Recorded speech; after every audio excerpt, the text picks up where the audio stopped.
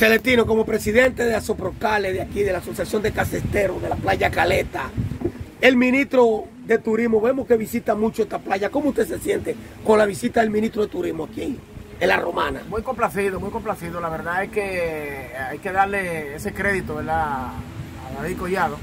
El hombre en sin números ocasiones ha visitado aquí y veo que está comprometido con el desarrollo de la playa. Lo ha demostrado con hechos, ¿de acuerdo? Eh, y lo vemos eh, muy bien, de verdad estamos muy complacidos cada vez que viene aquí.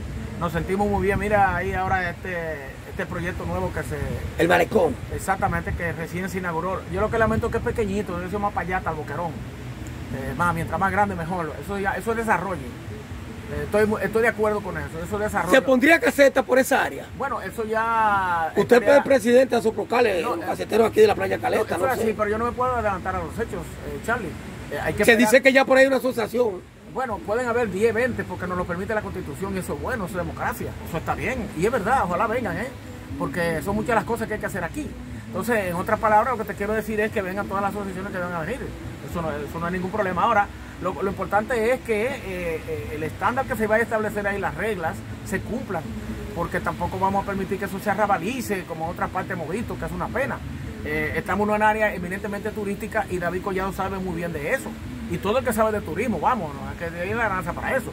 Pero sí entiendo que son proyectos que nosotros estamos muy de acuerdo. Por eso nos llamamos Asociación Pro Desarrollo Playa Caleta. O sea, todo lo que es desarrollo que beneficie a, a la comunidad, nosotros estamos totalmente de acuerdo.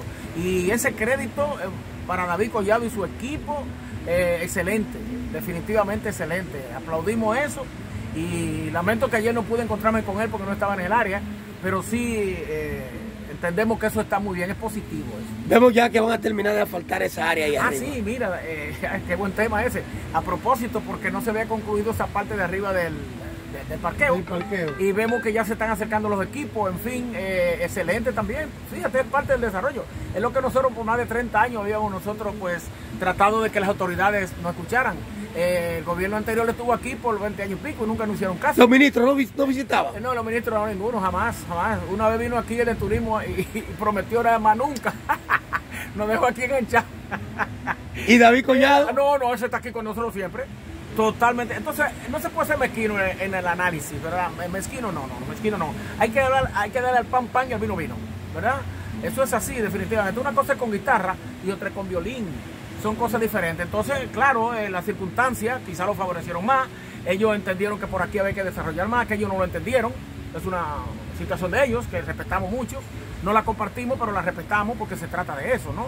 O sea, tú puedes estar de acuerdo conmigo o no, pero yo te tengo que respetar. Lo, que tú entiendas. Ahora, si yo no lo entiendo, eh, no lo comparto y punto. Por eso no tenemos que enemistarnos, ni buscarnos problemas, ni, ni discusiones, ni ser enemigos, no, jamás. Jamás, jamás. Ahora, en el desarrollo, sí, claro, está eso, hay que entenderlo claro. Hay que darle el pan pan y al vino vino. O sea, David Collado en esa parte, nuestra más eh, agradecimiento en esa parte. Y tiene aquí un colaborador 100%, porque ese muchacho de David Collado, él es un muchacho, puede ser su padre, muy joven y muy inteligente, es un gran emprendedor. Es una de las grandes virtudes que tiene este muchacho tan joven, ¿no?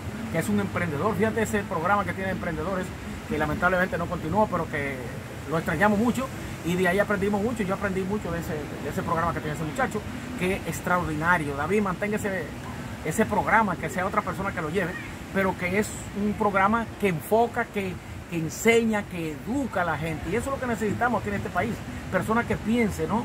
en que los otros se eduquen para que el país crezca, ¿no? Pensar macro, no micro. O sea, estoy de acuerdo con, con David y en buena mano está el pandero. David Collado para adelante eh, y tiene todo nuestro apoyo. Eh, y, y para adelante, hermano, para adelante, definitivamente. Muy contento, muy contento. Eso es así. Entonces, coja por allí.